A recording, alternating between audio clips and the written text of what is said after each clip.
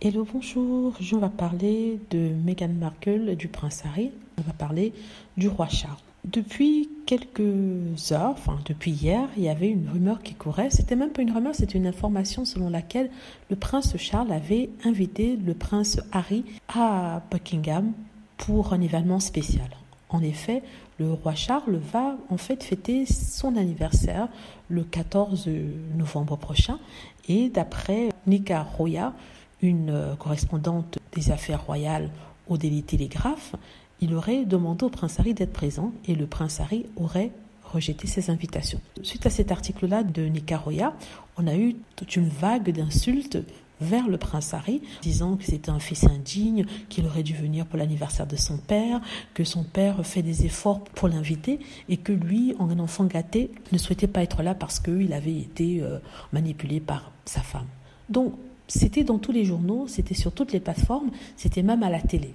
Et il y avait des débats sur le prince Harry et euh, le fait qu'il n'ait pas euh, le cœur large comme il aimerait le faire croire. Et devinez quoi? Eh ben, Aujourd'hui, il y a quelques heures, le porte-parole de Meghan Markle, le prince Harry, a en fait nié avoir reçu une quelconque invitation. Le prince Harry, d'après son porte-parole, n'a reçu aucune invitation pour l'anniversaire de son père. Donc les gens maintenant ont vu que le porte-parole a nié. On se pose la question pourquoi alors cette information est sortie? D'ailleurs, j'ai fait une vidéo sur la chaîne euh, Celeb Style, n'est-ce pas? C'est une vidéo assez intéressante que j'avais faite en fait avant l'annonce du porte-parole de Meghan Markle. Et c'est toujours tout aussi intéressant parce que j'aborde le sujet sur un autre angle. Je l'avais faite bien avant cette annonce que je vous fais aujourd'hui. Donc, on se demande comment est-ce que cette nouvelle a été fournie à la journaliste Nika Roya n'est-ce pas? Comment est-ce que Buckingham Palace peut mentir à ce point Parce que là, c'est un mensonge. Le prince Harry nie avoir reçu une quelconque invitation et c'est Nicaroya nous assure avoir de bonnes sources à Buckingham Palace.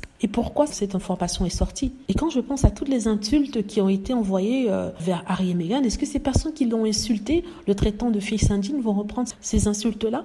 Je trouve ça quand même incroyable qu'on puisse m'aligner le prince Harry comme ça auprès des fans de la famille royale, auprès du public.